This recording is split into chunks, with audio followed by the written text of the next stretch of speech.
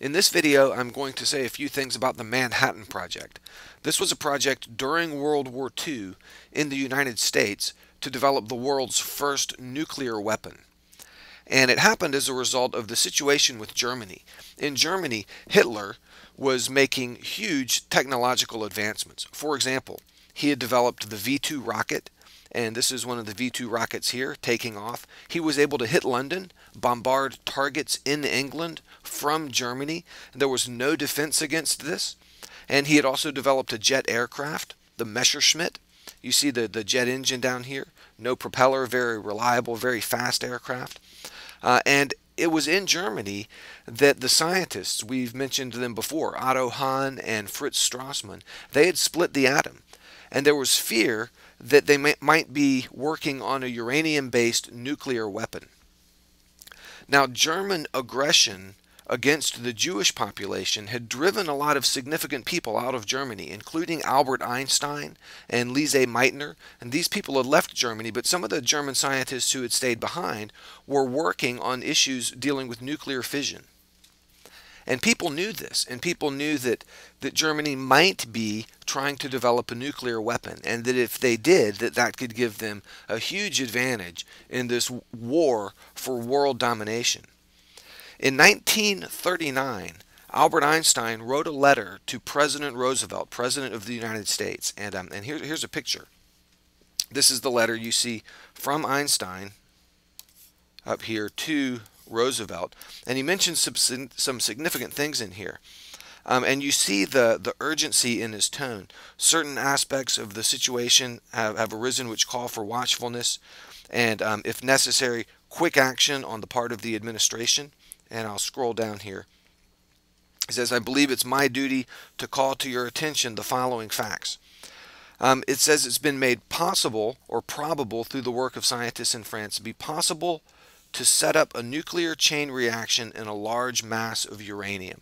And this is the chain reaction that would lead to a catastrophic explosion. And he says it's certain that this could be achieved in the immediate future.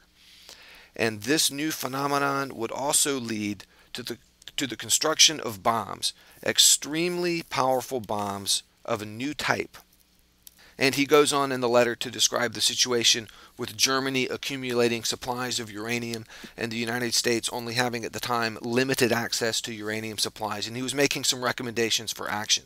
And the Manhattan Project was conceived to do the research and development required to actually construct a nuclear weapon. Uh, the project got underway in a number of places. In Oak Ridge, Tennessee, which is really interesting. And this is a picture from Oak Ridge. In Oak Ridge, they were doing the work to separate the uranium-235 from the, the, the other uranium. Most of the uranium in the Earth is uranium-238. And dispersed through the uranium-238 are small amounts of uranium-235. And they need to refine the uranium, basically, separate out the the uranium 235, which was the uranium they needed to make the bomb. And that was going on at Oak Ridge. Oak Ridge National Labs is still a, a major research lab there today. And um, it was a, a town of over 100,000 people that wasn't even on the map, literally. This was a top secret operation, and I've actually seen maps of Tennessee from the 1940s, and Oak Ridge doesn't even doesn't even appear on the map. The entire town was a secret, and the work going on there was secret. And a lot of the people working on the project were just doing their job at a particular machine, didn't even know the details of what they were working on. It was at Los Alamos Nat National Labs that they actually constructed the bomb. And over here on the right side of the image on screen right now are some pictures of the design and um, these were different designs that were considered and the one up at the top is uh, the one or one of these gun type methods right here. The idea is to take one piece of uranium which is a subcritical mass and combine it with some other uranium which is also a subcritical mass. And when the two pieces got together then they would have a, a critical mass that would lead to a chain reaction. So this piece is fired into the other piece or this was a possibility, this piece was slid over the top of that one. Or in this design here, these four pieces would be blasted in toward the center, and these little pieces of uranium here would come together, and a chain reaction would start. And this picture down at the bottom is another gun type mechanism where a piece of uranium is fired into another. And it was one of the gun type mechanisms that ended up being used.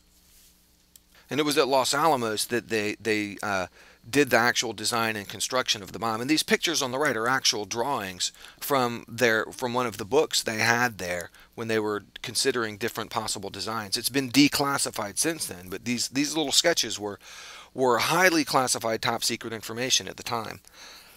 There are a lot of interesting stories from that era and from this project. I'll just relay one. Uh, there were a lot of calculations that needed to be done with uh, dealing with the physics and the um, the, the radioactive decay and the chain reaction, a lot of tremendously computationally intensive calculations. And they didn't have computers at the time, but they had some early calculating machines, which were mechanical calculating devices. Uh, going back hundreds of years ago, people had developed mechanical calculators where you could flip these little switches and then turn a crank, and this combination of gears and levers inside the machine would do a calculation, and they could multiply and divide numbers with these mechanical devices. And IBM was making these at the time. And they had lots of these at work at Los Alamos doing the calculations. And people would put in the numbers and flip the switches and crank the handle and get out the results. And they were, were just doing just thousands and thousands of these calculations. And they actually hired school students to do these calculations. And um, the the students didn't know what they were doing. They were just they, all they knew is that they had been drafted by the army to do this work, and um, and they were just grinding out these numbers. It was very tedious work, very boring work, and the error rate rate was very high. And one of the physicists, Richard Feynman, he decided that the this work would proceed a lot more effectively if the students knew what they were working on. And he convinced the generals at Los Alamos to give the students security clearance and to inform them what was going on. And so they got all the um, the the security clearance for these students and sat them down in a room and said, "Look, we're working on a new super weapon that could defeat Hitler and end this war." And the students were just blown away that they were really a part of something this significant, and their error rate immediately dropped down to zero. And they even started coming up with new ways to make the calculations more efficient and more accurate. And they, they, they pulled this off. It was years and years of work, but, but they ended up constructing this bomb. And here's a picture of one of them. This was called the Fat Man, and there was another smaller one called the Little Boy. And, and they were both dropped. They ended up not being used against Hitler. Uh, the war in, in Germany ended, and, um, and these the, the war in the Pacific against Japan continued, and these were dropped on Japan, one on Hiroshima and one on Nagasaki. And the results were just absolutely devastating. Here's a picture of the mushroom cloud from the explosion over Nagasaki. Basically, one bomb would destroy an entire city, and tens of thousands of people died instantly in the explosion. Here's a picture of Hiroshima. This was the, the first city bombed, and this was a picture taken obviously after the explosion. But you can just see the devastation just goes on for miles and miles in every direction. A few buildings that were designed to be earthquake proof uh, were still standing, although they weren't in great shape, and most of the most of the buildings were just completely obliterated. And um, and and and the people in them, everything just instantly gone. It was just utter devastation.